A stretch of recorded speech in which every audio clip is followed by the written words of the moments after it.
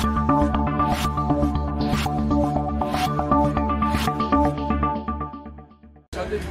atış yok da yapmayı biliyor. Onlara edemiyor. Onlara, onlara edemiyoruz.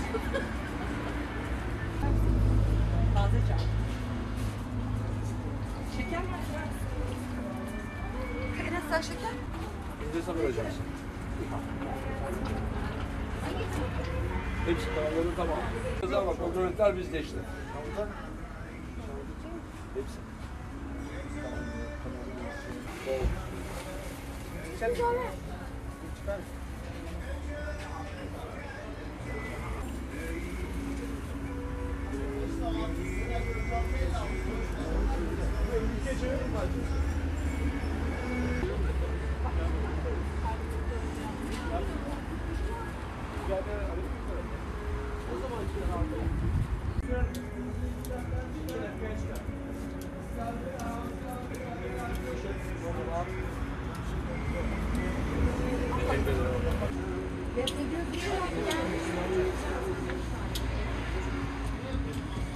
Küçük mendil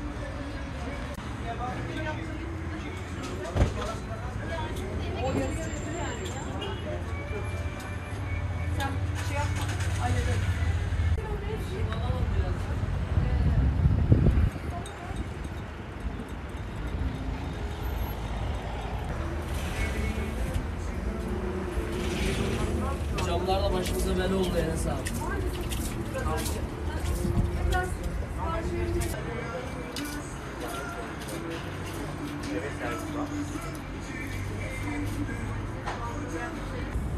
Bugünden sonra fiyatlarda değişiklik illaki olacak. Zaten savaş nedeniyle fiyatlar bir hayli e, zorlaşmıştı. Hayat bir hayli zorlaşmıştı. Fiyatlar artmıştı.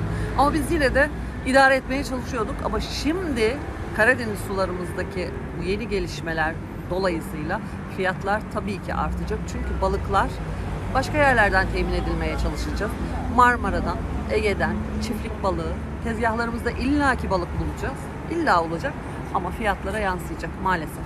Tabii ki bir ya- ya- yasak olduğu için ya herkesin iş ortamı rayından çıkacak.